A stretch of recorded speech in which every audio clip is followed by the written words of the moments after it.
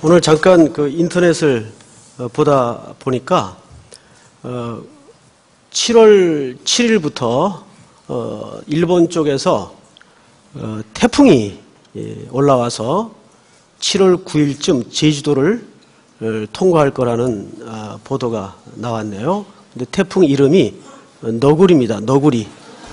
이번 태풍 이름이.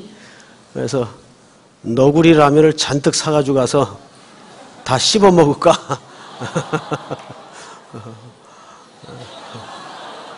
말이 좀 너무 험했나요? 전 너구리라면 어느 회사에서 나온지 모르겠는데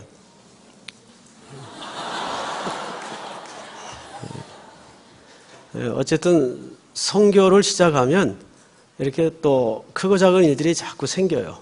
어떻게 선교 준비 열심히들 지금 우리 저녁마다 늦게까지 하고 있던데 여러분들은 선교 준비 잘 하고 계십니까? 네.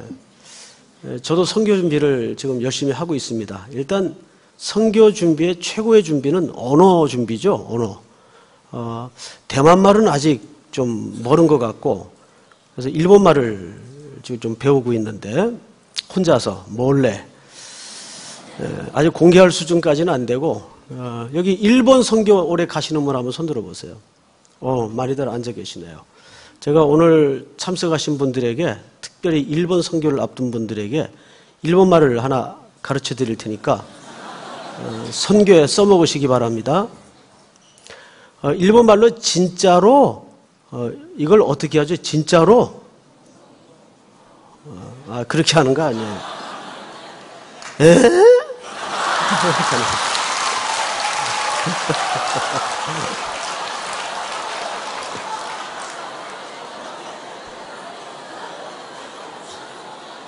이걸 할 때는 이게 목을 쓰면 안 되고 두 성을 써서 두 성을 써서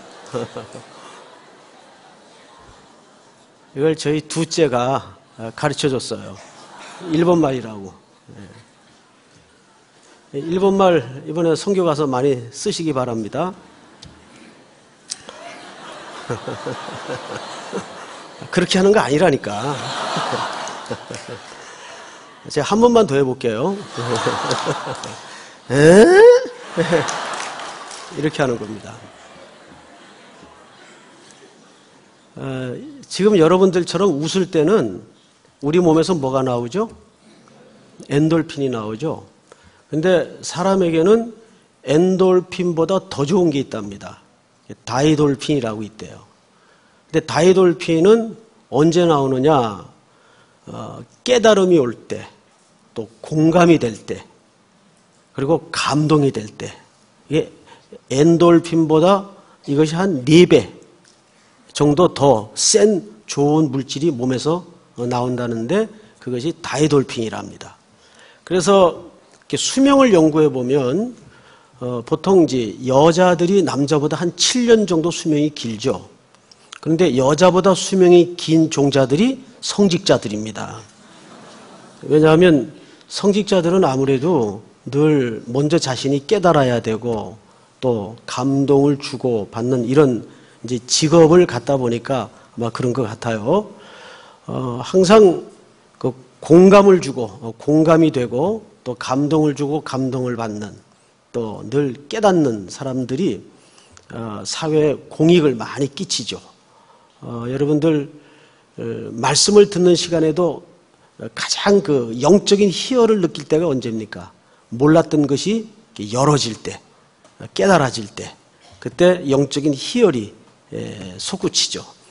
어, 오늘 이 밤에도 우리 예수님께서 제자들을 데리고 산에 오르십니다. 근데 성경에 보니까 높은 산이라고 돼 있어요.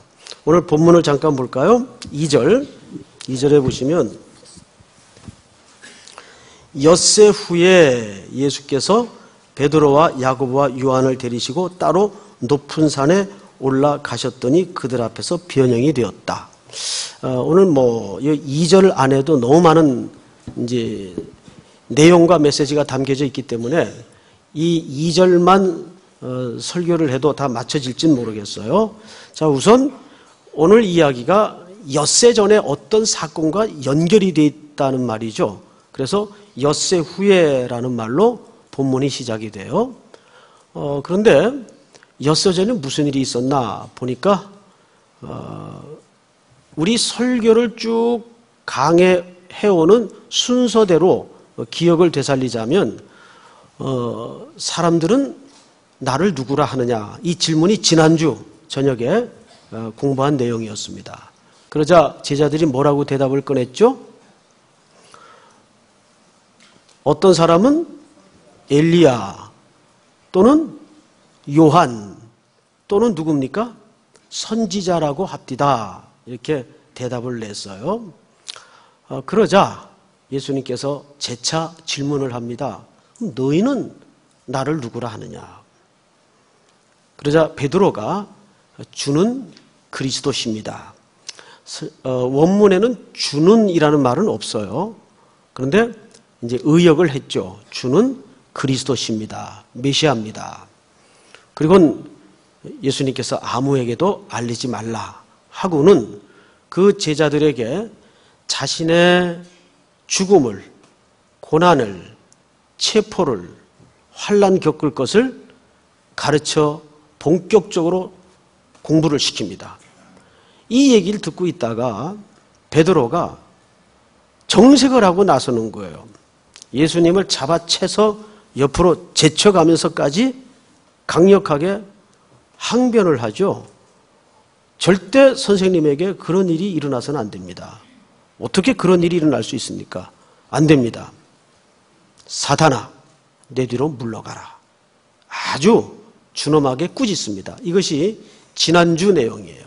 그 지난주 내용으로만 흘깃 우리가 기억을 해봐도 제자들은 아직 예수님에 대해서 눈을 완전히 뜬 겁니까? 안 뜬 겁니까? 완전히 뜨질 못했어요. 그래서 이 질문의 사건 앞에 무슨 사건이 있었는가 하면 맹인이 점진적으로 눈을 떠가는 사건이 기록이 됩니다. 그러니까 이게 전부 한 선상에 연결이 되어 있는 스토리예요.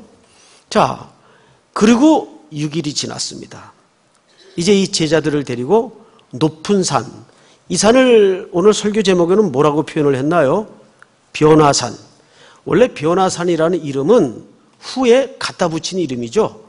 어, 여기에서 예수님이 변화되었다 그래서 후에 변화산으로 갖다 붙인 겁니다. 그러니까 이 산은 그냥 성경에는 높은 산이라고 소개되어 있어요. 자, 그러면 오늘 본문을 좀 보십시다. 엿새 후에 예수께서 세 명을 데리고 높은 산에 오르십니다. 세 명이 누구누구죠? 베드로, 야고보, 요한입니다. 이 세 제자의 그룹을 보통 무슨 제자라고 합니까? 수제자 그룹이라고 합니다. 여러분, 어, 한번 상식선에서 이해를 해보세요. 여러 명의 제자가 있는데 특별히 이 세 제자만 높은 산으로 데리고 올라가서 이제 예수님이 직접 변화되는 모습을 보여주었다면 이 세 제자는 수제자이기 때문에 그랬을까요? 오히려 반대죠. 가장 변화가 필요한 사람들이기 때문에 예수님께서 친히 이 제자들을 데리고 산에 오르셔서 예수님의 변형된 모습을 보여주십니다. 근데 이 변형되다라는 말이 수동태로 되어 있어요. 그러니까 이 변형은 그리스도가 스스로 변형되신 것이 아니라 하나님이 친히 예수님을 변형시켰다는 의미로 우리가 해석을 해야 정확히 맞습니다. 그 광경을 제자들로 하여금 보게 합니다. 근데 이 제자 셋은 사복음서를 구체적으로 접근을 해보면 자주 등장하는 인물이 바로 이 세 명입니다. 근데 이 세 명이 거론되고 언급되고 사건에 개입될 때마다 언제나 선한 쪽으로 개입된 적이 없어요. 항상 이 세 제자의 이름이 드러나는 데는 문제가 일어났어요. 시비가 일어났어요. 불평, 불만이 터졌어요. 그 핵심 인물이 이 세 제자입니다. 어머니들이 집에 아이들이 여러 명 있는데 어디 먼 길을 떠나야 할 때 제일 큰 애를 데리고 가겠습니까? 제일 안심이 안 되는 애들을 데리고 가겠습니까? 그렇죠. 제일 안심이 안 되는 애들을 데리고 길을 떠납니다. 이 세 제자는 그런 측면에서 예수님에게 특별히 총애를 받은 제자들이에요. 가장 안심이 안 되기 때문에 항상 이 세 명을 데리고 다닙니다. 그리고 이 세 명은 늘 문제를 일으켜요. 그리고 오늘 이 높은 산에 이들을 데리고 올라가신 가장 중요한 이유는 열두 제자 그룹 속에서 제일 먼저 변화가 필요한 대상들이었기 때문에 이 인물들을 데리고 올라갑니다. 근데 이 세 명의 공통점이 있어요. 첫째는 문제가 많았다는 데 공통점이 있고 두 번째는 이 세 명은 크기의 논리, 수의 논리, 힘의 논리에 굉장히 쩌들어 있던 사고방식을 갖고 있던 사람들입니다. 그래서 이들의 속이 변하지 않고는 예수님이 이 땅에 남겨둘 제자 그룹의 공동체가 절대 변화될 수 없기 때문에 이 세 명을 제일 먼저 데리고 올라가셔서 이 그룹을 변화시키려고 의도를 하신 겁니다. 그런데 그 장소가 어디예요? 높은 산이에요. 여러분 혹시 자기 평생에 아 나는 제일 높은 데 올라가 봤다. 어느 산입니까? 저는 중국에 가서 높은 산을 올라가 봤어요. 어, 백두산은 여러 번 갈 기회가 있었는데 기회를 잡지 못했고 한라산은 가본 적이 있어요. 그런데 한라산보다 더 높은 산이 중국에는 수도 없이 많아요. 정말 우리나라 산은 죄송한 표현이지만 산 아래 메이로다 표현할 정도로 낮은 봉우리에 불과하죠. 근데 중국은 나라 자체가 크기 때문에 그런지는 몰라도 뭐 경치 좋은데도 어마어마하게 많고 또 높은 산이 장난이 아닙니다. 한 번은 선교사님을 따라서 어느 높은 산을 올라갔는데 저는 이게 참 단점이 뭐냐 하면 어디 이렇게 구경을 가도 뭘 봤는지 금방 잊어버리고 그 지명이 거의 기억이 안 나요. 왜 그런지 모르겠어요. 그만큼 이게 자연에 별로 관심이 없는 것 같아요. 저는 사람에 관심이 많습니다. 대신 어 근데 어느 산인지 모르겠는데 하여간 굉장히 깊은 산이고 높은 산인데 그 산에 중턱까지는 케이블카를 타고 올라가야 됩니다. 그리고 거기서부터 이제 끝없이 올라가는 거예요. 근데 그 깎아지는 절벽에 그런 오솔길 같은 걸 어떻게 깎아놨는지 모르겠어요. 굉장히 위험한 산입니다. 그리고 때로는 이쪽 골짜기에서 저쪽 골짜기를 외나무 다리 같은 걸 의지하고 건너가야 돼요. 진짜 다리가 후들후들 떨립니다. 근데 그 장소가 어딘지 모르겠어요. 지금도 기억이 안 나네요. 다음 주에 제가 기억해서 말씀을 드릴게요. 드디어 정상에 올라갔어요. 그리고 산 밑을 보는데 정말 아득합니다. 그러니까 구름이 층층이 사이사이에 끼어서 뜨문뜨문 보이지도 않는 데다가 제산 아래 사람이 보이기 시작하는데 전부 다탁 어, 무슨 그 조그만 점에 불과해요. 점에. 그 속에는 부자도 있을 거고 잘생긴 사람도 있을 거고 가난한 사람도 있을 거고 그런데 위에서 볼 때는 점에 불과해요. 정말 아무것도 아니더라고요. 그 높디 높은 빌딩들이 조그만 장난감 같아요. 높은 산에서 보면. 항상 성경에는 이 산이 많이 등장을 합니다. 그리고 하나님의 선지자들이 산 위에 올라가서 말씀도 받고 하나님도 만나고 특별히 기도도 해요. 그래서 산은 높다라는 의미보다는 사실 하나님과 가까운 개념입니다. 높은 산에 올라가게 돼 있어요. 그러니까 그런 초월적 위치에서 아래를 보면 모든 게 점에 불과해요. 못난 사람도 점, 잘난 사람도 점, 180짜리도 점, 160짜리도 점. 별거 없어요. 드디어 그 높은 데 올라가야 인간이 얼마나 하찮은 존재고 미미하고 일부에 불과한지 그제서야 깨닫게 됩니다. 그런데 산 아래는 사는 풍경이 어떻습니까? 웃기죠. 뭐 조금 가진 거 가지고 대단히 가진 것 같고 뭐 조금 크다고 대단히 잘난 것 같고 또 조금 작다고 굉장히 죽을 것처럼 위축해서 살고 그러고들 살아요. 서로를 비교당하고 비교하고 뜯고 물고 젠체하고 잘난 체하고 그러고 살아요. 그게 산 아래 인간의 풍경이에요. 그래서 오늘 이 변화산 아래 풍경은 귀신 들린 아이가 등장을 합니다. 이 세상이 전부 다 귀신이 들려서 그래요. 어둠의 권세에 딱 제압이 되어서 별거 아닌 것 가지고 어둠의 권세에 묶여가지고 서로 물고 뜯고 험하게 살아요. 그런데 하나님 위치에서 높은 곳에서 보시는 이가 웃으심이요. 시편 기자의 고백 아니 웃으심이요. 제 100억 갖고 있대. 하나님이 웃으심이요. 제 키가 1m 90이래. 하나님이 웃으심이요. 위에서 보면 다 웃기는 일이에요.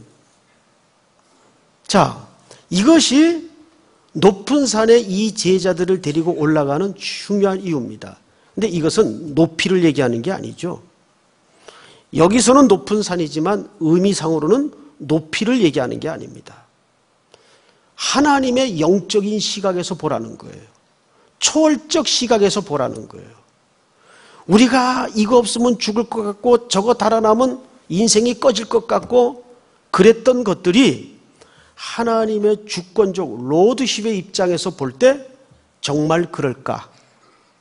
그래서 우리는 가끔 가다가 사실은 일상을 떠나서 이렇게 호련히 하나님과 밀착되어 있는 시공간으로 떠날 수 있어야 됩니다. 저는 그것이 우리 교회는 1년에 두 달씩 진행되고 있는 선교의 일정이라고 확신합니다. 선교를 가보면요. 놀라운 공통점이 하나 있어요. 50평 사는 사람도 바닥에서 자고 15평 사는 사람도 거적 깔고 자고 똑같아요. 똑같아요. 군대 찬악 같은 데다가 다 똑같이 밥 먹고 똑같아요. 그런데 우리가 왜 그럴 수 있습니까? 방금 우리 우목사님이 사회를 보면서 기도 제목을 건넬 때 하신 말씀 있죠? 보화를 발견한 자이기 때문에 가장 소중한 것이 무언지를 아는 사람이기 때문에 그것을 감당하고 감내하고 그럴 수 있는 거예요. 1년에 우리는 두 달, 두 달씩 넉 달을 사실은 하나님과 밀착돼서 이 땅에서 무엇과도 견줄 수 없고 바꿀 수 없는 생명의 본질을 만나는 시간이에요. 그 앞에 서면 뭐가 진짜 우리 인생 속에 중요한지 우리가 딱 느껴지고 보여줘요. 이게 진짜구나. 진짜구나. 그리고 또 선교를 다 마치고 일상에 들어가서 분주하게 살아요. 그리고 또 궤도 이탈이 막 됩니다. 근데 정신 차리고 특세 시작해서 또 두 달 바짝 선교 갔다 오면 우리 안에 영성이 회복되는 걸 볼 수가 있어요. 그렇죠, 여러분? 그러셔야 합니다. 굉장히 중요한 우리 인생의 사이클이에요. 높은 산에 일부러 제자들을 데리고 올라가십니다. 자, 그런데 오늘 말씀을 보십시다. 엿새 후에 예수께서 베드로와 야고보와 요한을 데리시고 따로 높은 산에 올라가셨더니 그들 앞에서 어떻게 되사? 변형되사. 여기 예수님이 변형됐다는 것은 무슨 뜻일까요? 예수님은 제자들 데리고 올라가서 너희들 그렇게 하면 되겠어? 정신이 썩었어. 태도가 바뀌어야지. 이러지 않았어요. 먼저 자신이 변화되셨어요. 여러분, 우리 여기 자매들 많이 계신데 남자들이 제일 싫어하는 언어 태도가 뭔지 아세요? 지시하는 거, 명령하는 거예요. 10시까지 들어와? 이런 거. 이런 거 제일 싫어해요. 저희 집사람은 한 번도 지금까지 그런 적이 없어요. 그 부분에 대해서 너무 고마워요. 늘 그러죠. 늘 그리워 그래요. 네. 네. 실제 그럽니다. 실제. 그러면 집에 일찍 안 들어갈 수가 없어요. 그래서 11시 정도 들어가고 그러죠.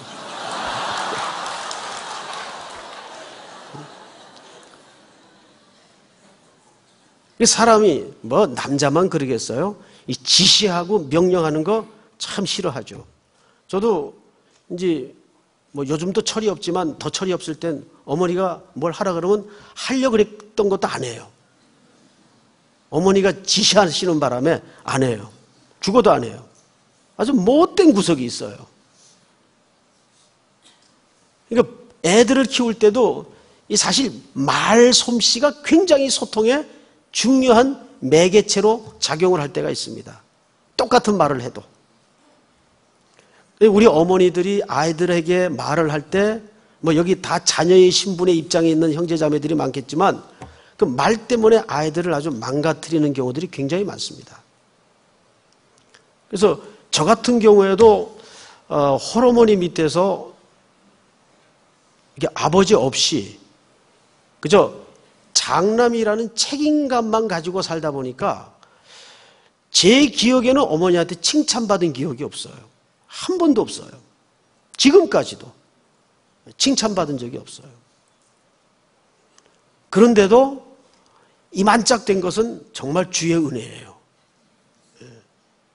저희 어머니 굉장히 냉정하고 무서운 분이세요. 늘 애비 없는 자식이라는 소리 안 듣게 한다고 엄하게만, 엄하게만 말씀하셨어요. 그러다 보니까 제가 칭찬을 못 받고 자란 그 어린 시절이 제일 좀 아쉬워요. 그래서 가끔 가다가 그런 것들이 지금 제 속에 이렇게 감추어져 있는 걸 볼 수가 있어요. 그래서 저는 가능하면 우리 아이들한테 칭찬을 많이 하려고 애씁니다. 애 쓴다고요. 애 쓴다고. 예수님은 제자들을 데리고 올라가서 그렇게 살면 안 돼! 바뀌어야 돼! 이러질 않고 먼저 스스로 변형돼서 제자들이 어떤 삶을 살아야 될 것인가를 스스로 샘플이 되셨어요. 이 변형됐다는 말은 사실 굉장히 중요한 얘기입니다. 그 변형을 이렇게 소개합니다. 자, 3절을 보십시다. 그 옷이 광채가 나며 세상에서 빨래하는 자가 그렇게 희귀할 수 없을 만큼 매우 어떻게 되었더라? 희어졌더라. 희어졌더라. 이것은 장차 우리 모두가 도착해야 될 도착 지점을 예수님께서 미리 보여주시는 계시적 그림입니다. 이것을 우리가 보통 미래 완료형 그림이라고 설명합니다. 자, 우리 한 두 군데만 찾도록 하겠습니다. 갈라디아서 3장 20절을 찾습니다. 갈라디아서 3장 27절. 우리 다 같이 읽겠습니다. 27절 시작 누구든지 그리스도와 합하기 위하여 세례를 받은 자는 그리스도로 옷 입었느니라. 지금 예수님의 뭐가 변화되었죠? 옷이 변화되었어요. 그러니까 이 말은 그 세 제자, 아니, 장차 이 땅에 만들어질 하나님의 공동체, 교회, 신부, 성도들에게 뭘 옷 입으라는 얘기입니까? 그리스도로 옷 입으라는 얘기예요. 그래서 갈라디아 3장 27절에 누구든지 그리스도와 합하기 위하여 세례를 받은 자는 그리스도로 옷 입었느니라. 믿습니까? 한 군데만 더 봅니다. 로마서 13장. 로마서 13장.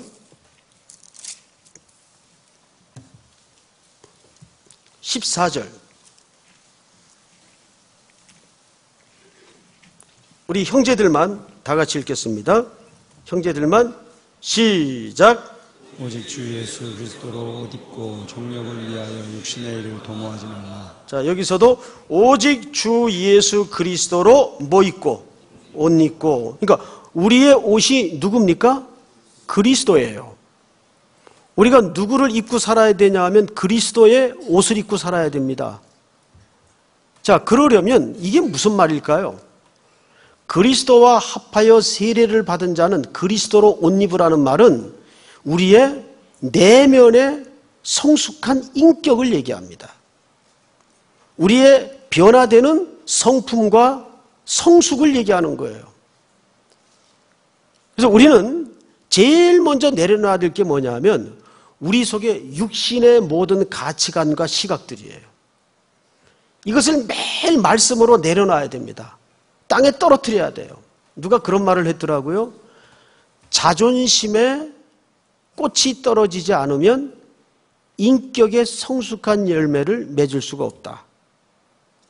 제일 그것을 방해하는 게 잘못된 자존심이에요. 자존감은 중요한 겁니다. 그런데 자존심이라는 건 자기 의의가 기초된 거예요. 이 꽃이 떨어지지 않는 한 성숙한 인격의 열매를 맺을 수가 없다는 겁니다. 그런데 아직도 우리는 그리스도의 의의가 없을 뿐 아니라 그리스도의 의의로 옷 입고 사는 삶에 굉장히 어색한 습관을 갖고 있어요.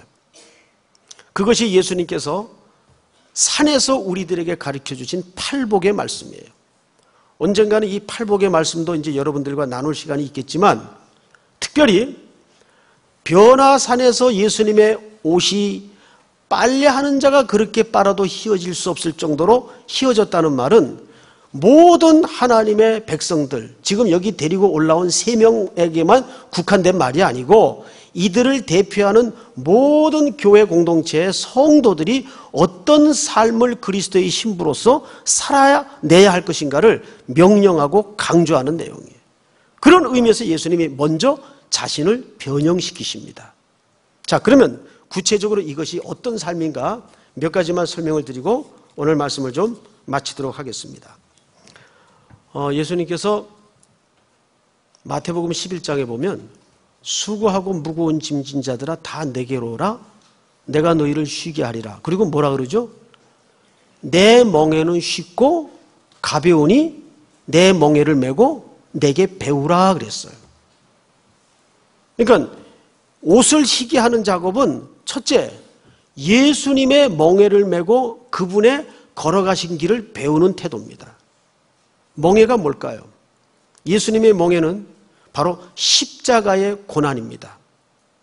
그래서 이 변화산 사건이 있기 전에 제자들에게 삼가 경고시키며 가르쳤던 말씀이 뭐냐 하면 자신의 체포와 죽음과 고난의 삶을 정식으로 가르치기 시작합니다. 이걸 제자들이 끝까지 깨닫지 못했어요. 여러분 베드로가 실수하죠. 여기서도 또 실수하는 게 뭐라 그랬죠? 너무 예수님의 광경이 모세와 엘리와 함께 대화를 하고 옷이 휘어지고 어마어마한 그 황홀한 광경을 보면서 베드로가 성격답게 제일 먼저 은혜 받고 뻑 갔어요. 그리고 제일 먼저 꺼낸 말이 뭐예요? 여기가 조사오니 초막 셋을 짓고 초막 셋이 뭡니까? 초막셋이 기도원, 교육관, 본당. 누가 그런 농담을 하더라고요.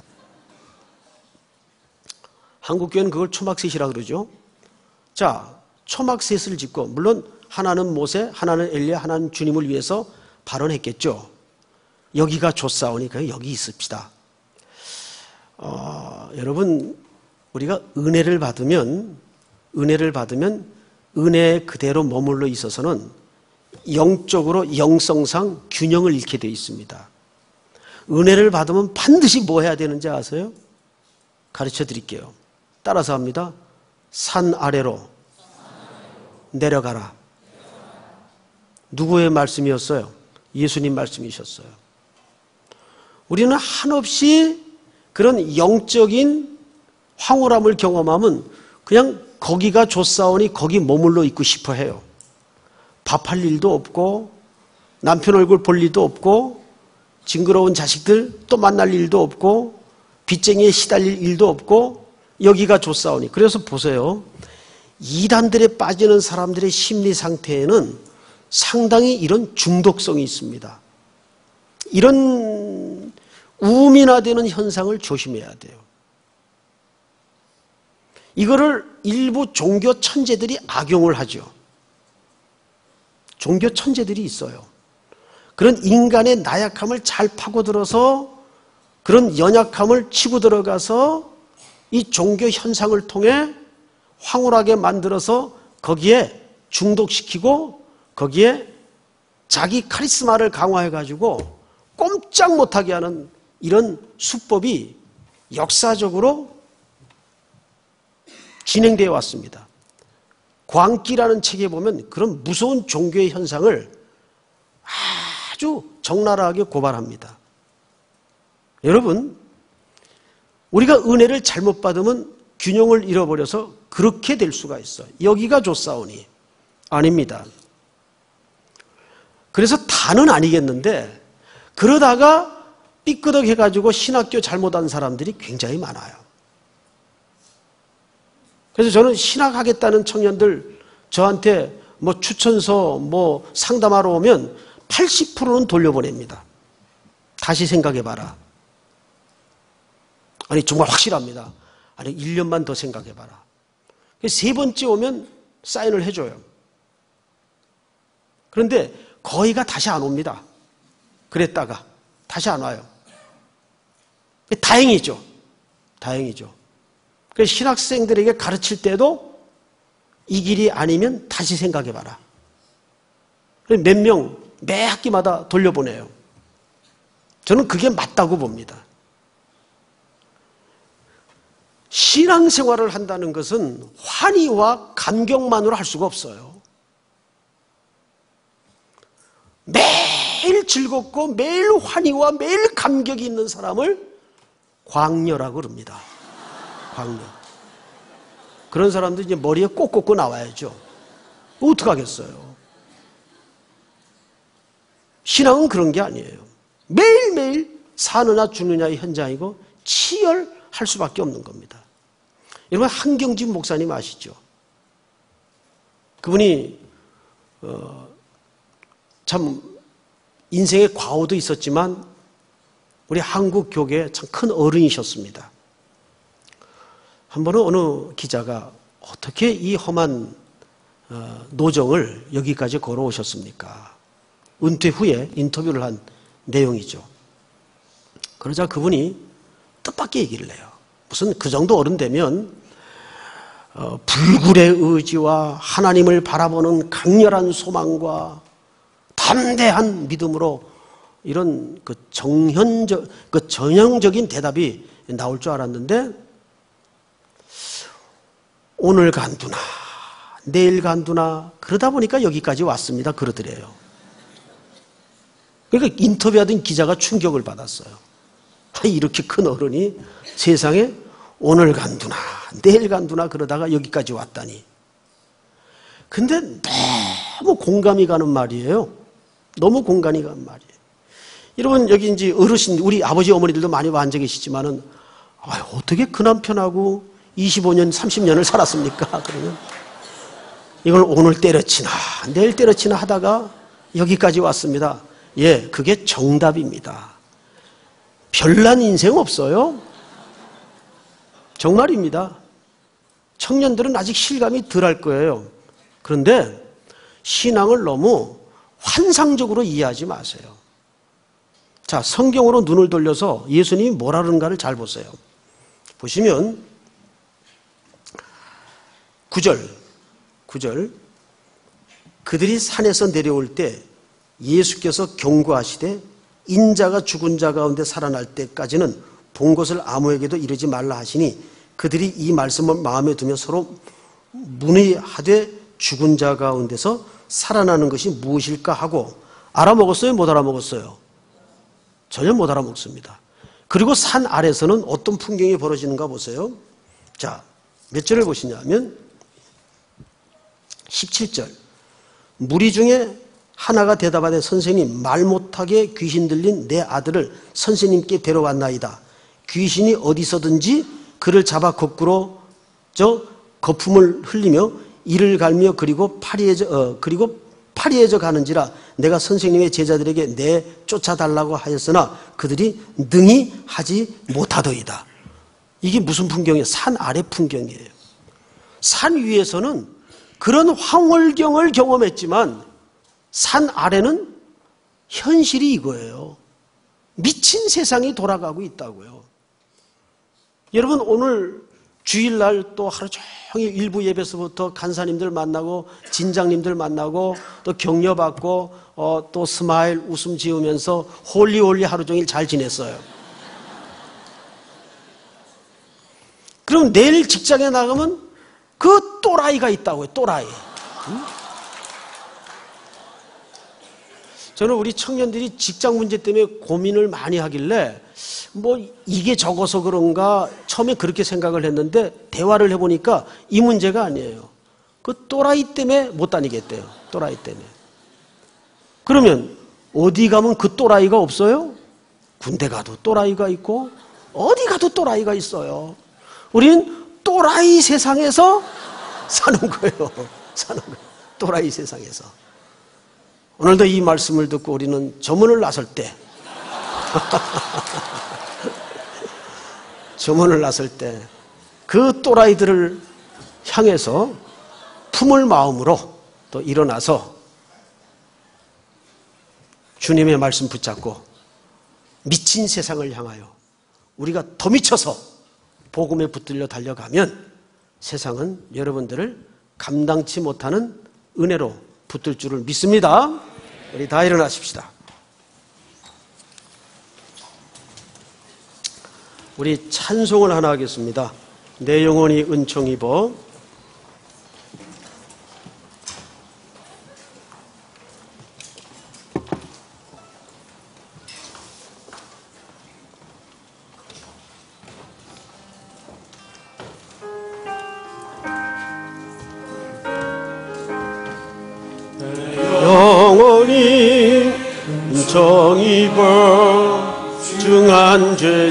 죄지 꺾어버리 슬픔 많은 이 세상도 정직으로 하도다.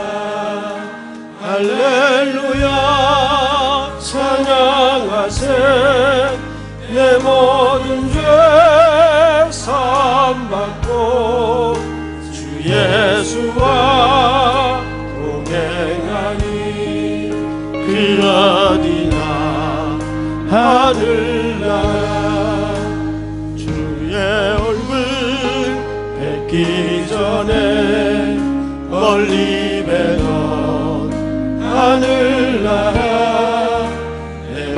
속에 이루어지니 날로 날로 가깝도다. 할렐루야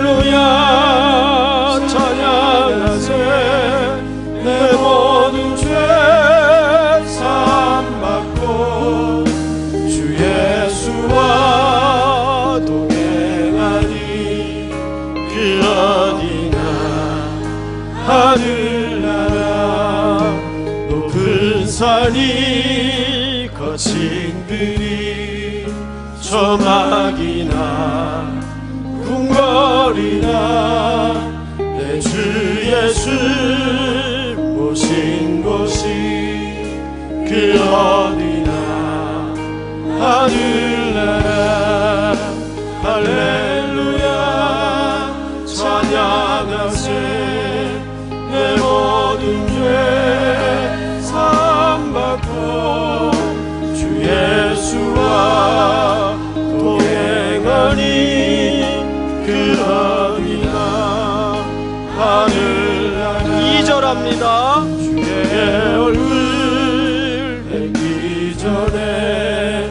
멀리 뵈던 하늘나라 내 마음속에 이루어지니 날로 날로 가깝도다 할렐루야 찬양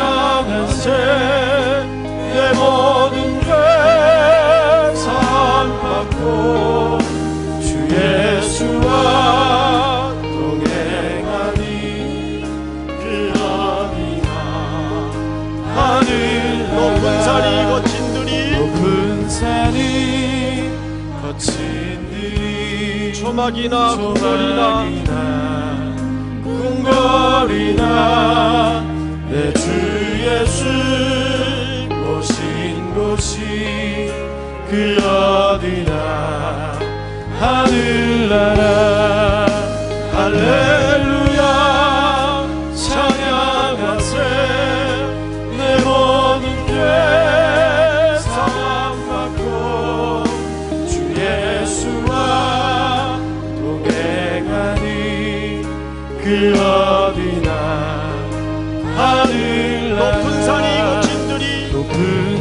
산이 거친 들이 초막이나 궁궐이나 초막이나 궁궐이나 내주 예수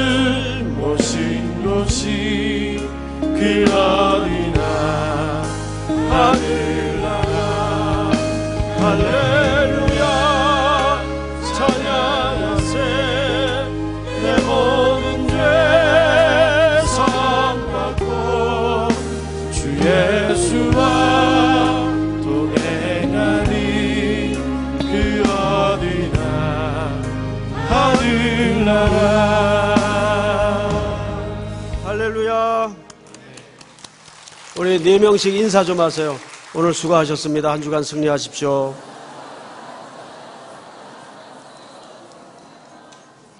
기도하겠습니다. 하나님, 오늘도 종일토록 이곳에서 주를 예배하며 찬송하며 기도하며 경배토록 은혜 주신 고 복 주신 것을 진심으로 감사합니다. 이번 주부터 출발하는 제주 선교로 시작해서 모든 선교의 일정이 마쳐질 때까지 하나님께서 그 선교의 일정에 앞장서시고 다스려 주시며 통치하시고 동행해 주시옵소서. 내일부터 일본 쪽에서 태풍이 올라오는데 제주도에는 9일날 도착을 한다고 합니다. 하나님, 하나님의 구령의 열정이 태풍이 꺾지 못하도록 하나님께서 간섭해 주시고 우리 모든 대원들 태풍으로 영향받지 않도록 주께서 미리 손써 주시고 다스려 통치하여 주시옵소서. 또 우리 청년들 한 주간 동안 학업으로 또 일터에서 여러 가지 일들을 감당할 때 어렵고 힘든 일이 있겠지만 주님의 병사되어서 변형되어 그 사역 잘 감당하며 일터는 주님의 선교지가 되게 하시고 특별히 어려운 일이 있더라도 믿음으로 극복하며 승리할 수 있도록 동행해 주시옵소서. 지금은 우리 구주 예수 그리스도의 은혜와 하나님 아버지의 크신 사랑하심과 성령님의 교통하심이 머리 숙여 경배를 드리는 모든 삼일의 성도들 심령 속에 복중의 생명까지 영원토록 함께 있을지어다. 아멘.